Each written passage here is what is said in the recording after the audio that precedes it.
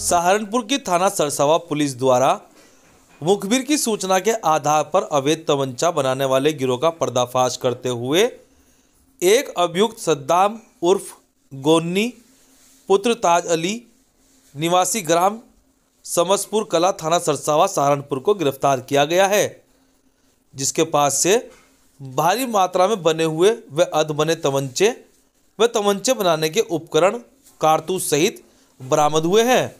उक्त मामले का खुलासा आज थाना सरसावा में एसपी देहात अतुल शर्मा ने किया। शस्त्र के खिलाफ उसी में आज थाना सरसावा को एक बड़ी सफलता हासिल हुई है जिसमें कि ग्राम सरसा समसपुर कला के खंडरों में सूचना मिली थी कि कुछ लोग जो है मिलकर शस्त्रों का निर्माण कर रहे हैं। इस पर दबिश दी गई। तो थाना सरसावा पुलिस द्वारा जो है वहाँ पर मौके से एक आदमी को गिरफ़्तार किया गया। सद्दाम, जो कि वहीं समझपुर कला का रहने वाला है।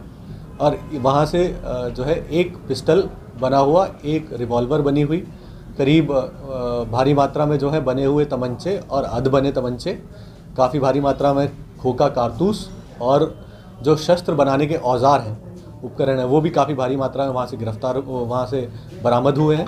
इसमें जब इससे पूछताछ की गई सद्दाम से तो इसने बताया कि इसके साथ एक और जो है साथी है, जो इसका मदद करता है बनाने में वो वहाँ से जो है भागने में सफल रहा, जिसके लिए कि हम प्रयास कर रहे हैं और दबिश दे रहे हैं, उसको भी जल्दी ही गिरफ़्तार कर लिया जाएगा।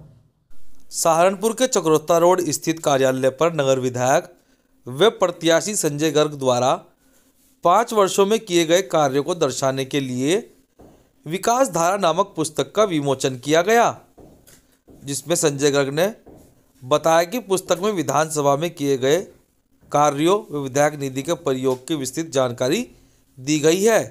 विधायक निधि से भी उनके द्वारा अनेक विकास कार्य महानगर में कराए गए हैं। इस दौरान चौधरी इजहार बबलू पुण्य गर्ग राहुल शर्मा, प्रणव शर्मा, विपिन जैन सहित अन्य लोग भी उपस्थित रहे।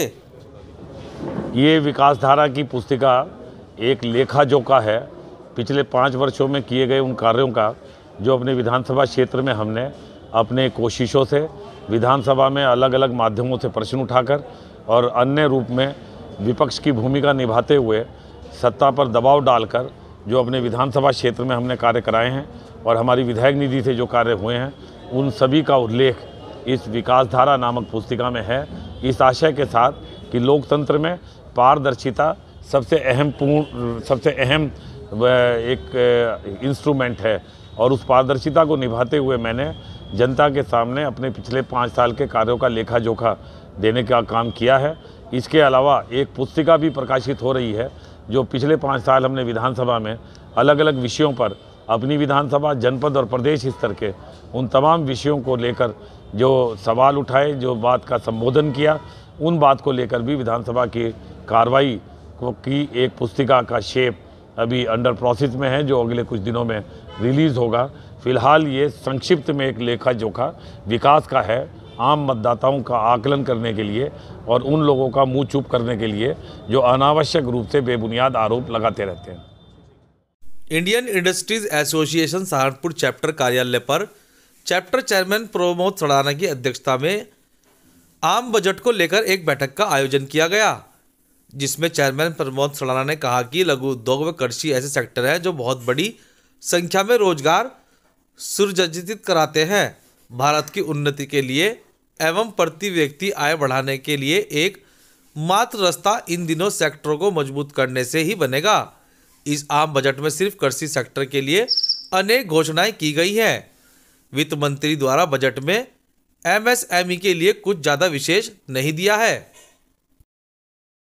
सहारनपुर में मंगलवार को कांग्रेस प्रत्याशी सुखविंदर कौर के समर्थन में महिलाओं ने महिला कांग्रेस की हरियाणा से आई प्रभारी पूनम कश्यप के नेतृत्व में किशनपुरा, रामनगर, खान आलमपुरा, तकिया आदि मोहल्लों में जनसंपर्क कर लोगों से समर्थन मांगा और लोगों ने भरपूर सहयोग देने का वादा भी किया।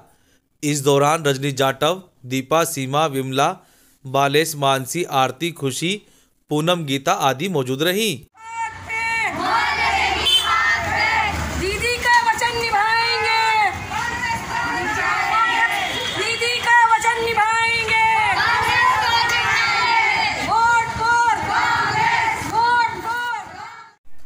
अर्चना ग्रामो उद्योग सामाजिक संस्थान एवं ज्ञानदीप समाज कल्याण युवा संस्था के संयुक्त तत्वाधान में आगामी विधानसभा चुनाव के मतदान, मतदाता के लिए आवश्यक क्यों वक्ताओं ने जागरूक करने का काम किया, जिसमें सर्वप्रथम उप नियंत्रक शिवराज योगेश श्रीवास्तव द्वारा उपस्थित महिलाओं, पुरुषों को मतदान आवश्यक क्यों और अपने अधिकारों के प्रति जागरूक रहकर अपने मतदान का प्रयोग कैसे करना चाहिए बताया गया। और साथ ही सभी को शपथ भी दिलाई गई। प्रलोभन से प्रभावित हुए बिना सभी निर्वाचनों में अपने मताधिकार का प्रयोग करेंगे। लोकल मेडिकल कॉलेज के 12 छात्रों ने राष्ट्रपति से इच्छा मृत्यु की मांग की है।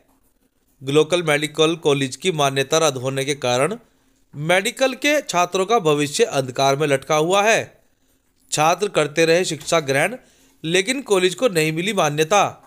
कहीं से इंसाफ नहीं मिलने के कारण मंगलवार को जिला मुख्यालय पहुंचकर राष्ट्रपति को संबोधित एक ज्ञापन नगर मजिस्ट्रेट को सौंपते हुए छात्रों ने इच्छा मृत्यु की मांग की है। बिना मान्यता के ही छात्रों को अंधकार में रखकर लाखों रुपए फ़ीस ली गई है।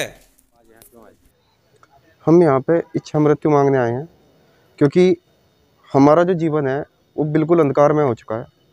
हमने वर्ष 2016 में ग्लोकल मेडिकल कॉलेज में एडमिशन लिया था, और हम वहाँ पे तीन चार साल तक पढ़ते रहे।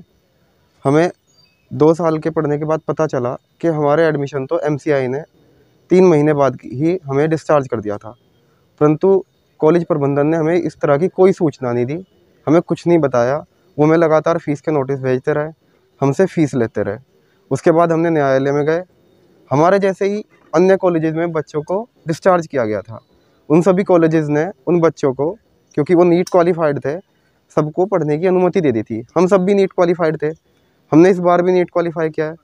परंतु मेरी उम्र चौबीस साल है। मेरे पास ना तो अब इतना समय है और ना ही इतनी आर्थिक सहायता है कि मैं दोबारा से एमबीबीएस कर सकूँ। इस समय जो मेरा जीवन है, मैं बहुत ज़्यादा परेशान हो चुका हूँ।